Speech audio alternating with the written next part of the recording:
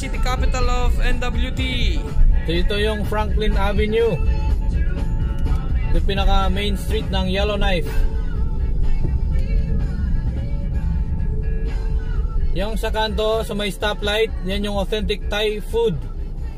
Masarap kumain dyan.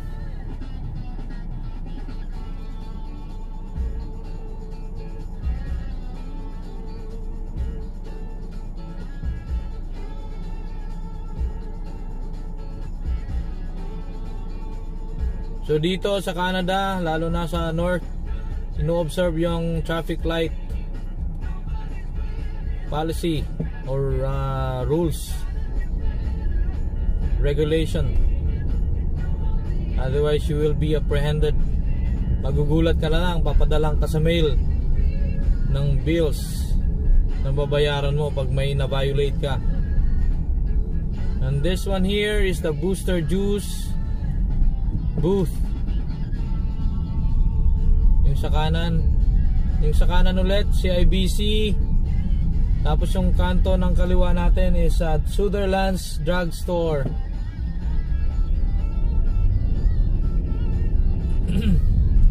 Yan ulit sa kanan yung Center Square Mall. Yan kumbaga yung mall nila. Tapos may A&W. Yes. Yes, kuya. Somewhere there here. Yeah, we're gonna go there. We can go there after mommy goes shopping. Okay, yeah. So ito yung way papunta sa Old Town.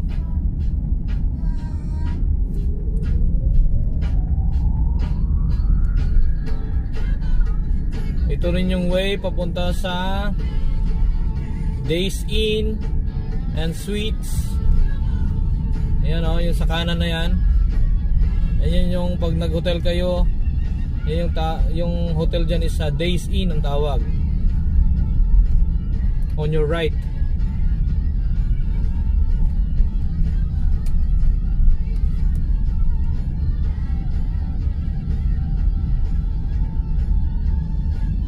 Nyo ba na ang ah, Yellowknife ang pinaka may malaking ah, diamond mines in ah, North America Ito yung nagsusupply ng napakaraming uh, ekonomiya sa NWT at napaka pangatlo sa blood diamond sa buong mundo. Ito yung Slave Lake Inn sa kanan. Dito na tayo sa Old Town ngayon.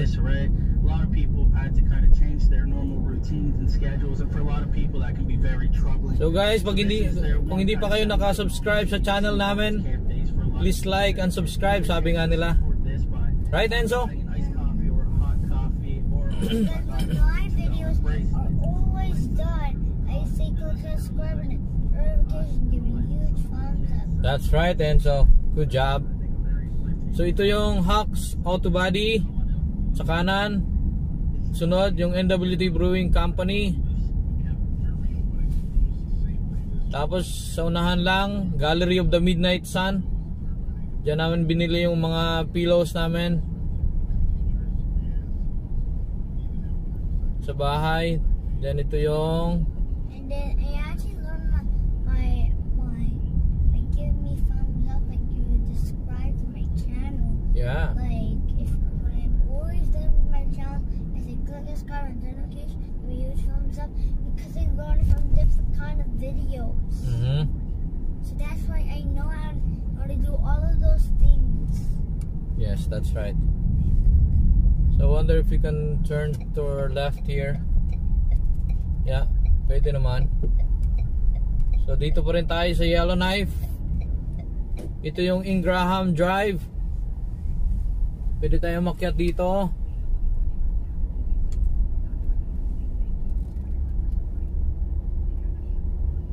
Famous itong ah, bundok na ito sa kung saan makikita matatanaw mo yung buong Yellowknife. Look at this house, it's so giant. Yeah. So on your right here, kung saan may hill, may hagdan, yan ka paakyat para makita mo yung buong Yellowknife. Yung lake, yung Great Slave Lake. Dad, Yeah, we went up there already. Like, like, we went up there and we were at Yellowknife. Mhm. Had so much fun up there, Dad.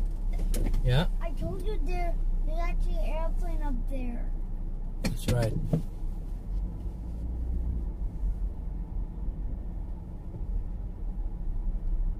So yan yung paakyat dyan, yung hagdan.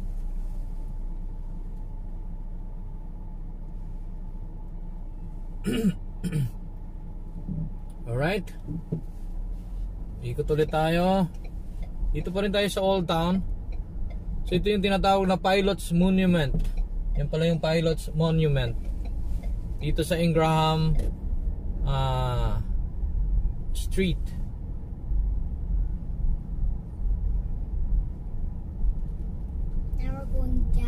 So usually ang nakatira dito is mga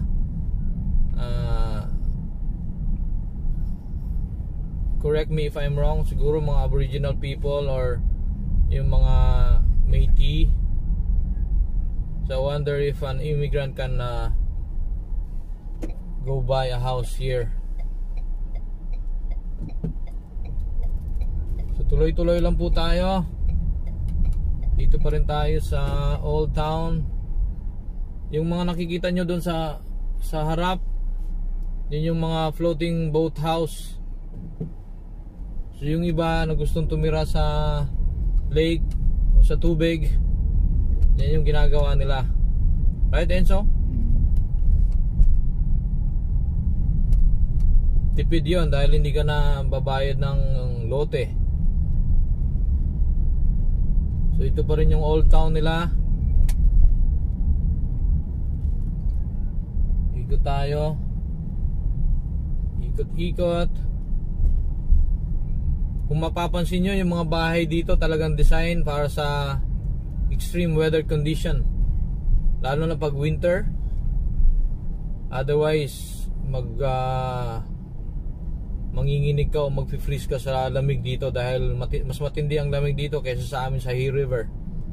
See that one? The houses here, Enzo? Dito rin pala yung Old Town Glass Works. Pardon? It's just like t- too big.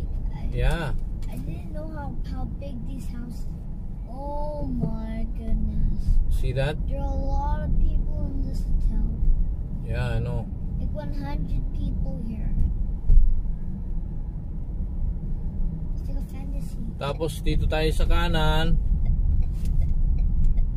Anong tawag dito? Macmican Causeway.